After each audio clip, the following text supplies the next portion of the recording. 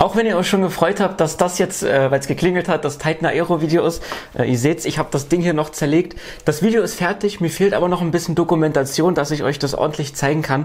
Ja, in diesem Video will ich einfach nur mal vielen, vielen Dank sagen für die 5000 Abonnenten, die wir jetzt geknackt hatten. Ich wollte eigentlich, ich habe es mir so fest vorgenommen, wollte ich ein 5000 Abonnenten-Special machen und euch quasi so ein bisschen zeigen, wie ich zu diesem Hobby gekommen bin und einfach zu mir als Person ein bisschen was erzählen.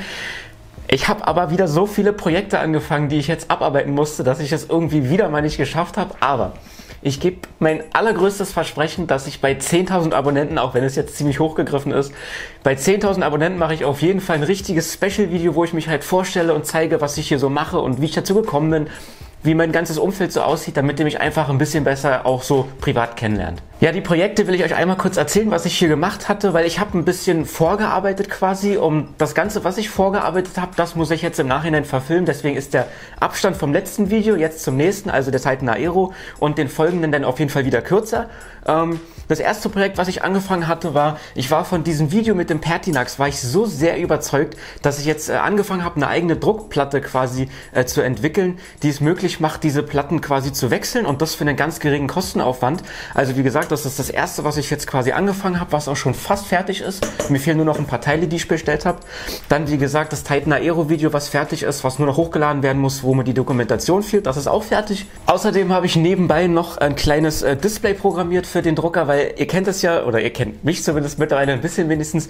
Ich wollte den Titan Aero haben, der sollte funktionieren. Und dann wollte ich irgendwie noch ein Special haben, was es momentan noch nicht gibt. Und dann habe ich mich hingesetzt und habe mit Arduino und einem kleinen Display habe ich ein Programm geschrieben, was uns quasi ermöglicht, die Temperatur vom Motor auszulesen und uns über einen Display grafisch anzuzeigen und naja, ich habe mich darin so verfranst äh, und mich so viel Energie reingesteckt, weil ich unbedingt wollte, dass das funktioniert.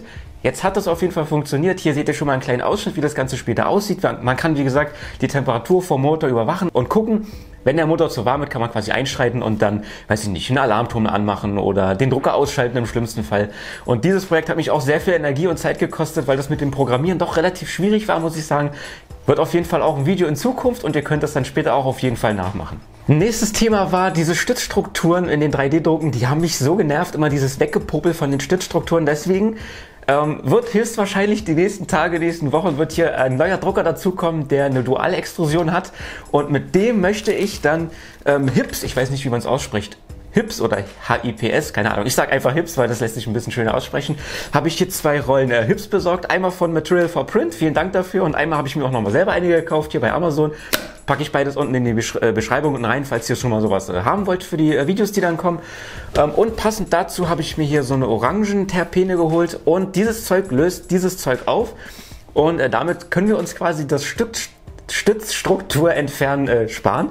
Ich finde das ein super spannendes Thema, weil das einer der nervigsten Sachen ist im 3D-Druck, finde ich. Ähm, und dann ein sehr, sehr, sehr großes Thema. Und zwar habe ich vor einem äh, halben Jahr ungefähr habe ich ein Patent angemeldet. Ich kann euch leider erstmal nur ein bisschen was zeigen. Ähm, dieses Patent hat mich zwei Jahre Arbeit gekostet, aber es ist fast fertig und es fehlen nur noch ein paar Schritte, um dieses ganze Thema abzuschließen. Und auch passend dafür hat mir Material for Print hier eine 2 Kilo PETG-Rolle geschickt. Richtig geil.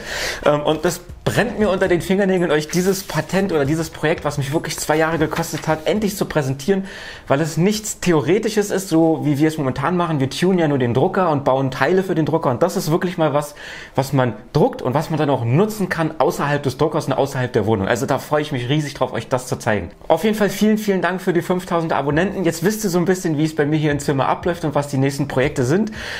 Ich freue mich auf jeden Fall riesig, euch die Videos zu präsentieren und bei 10.000 äh, Abonnenten wird auf jeden Fall ein riesengroßes Special kommen, äh, wo ich euch alles quasi zeige, was mit mir zu tun hat und äh, ja, darauf freue ich mich auch. Vielen Dank fürs Zuschauen.